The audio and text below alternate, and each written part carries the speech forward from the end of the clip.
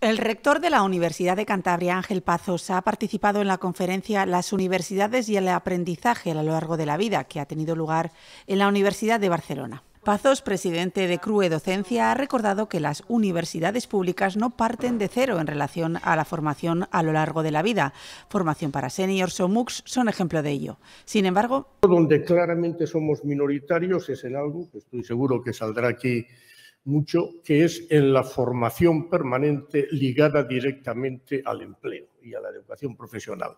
Ahí creo que todavía somos eh, minoritarios, aunque algunas universidades están haciendo una labor muy significativa.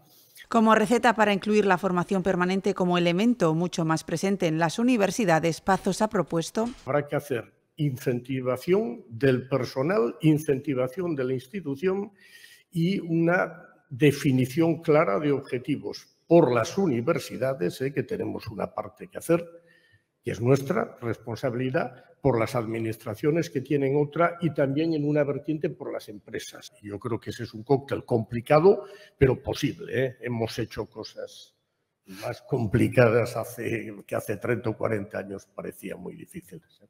El rector ha querido concluir su intervención con un mensaje general en relación al papel fundamental de la educación universitaria en su conjunto.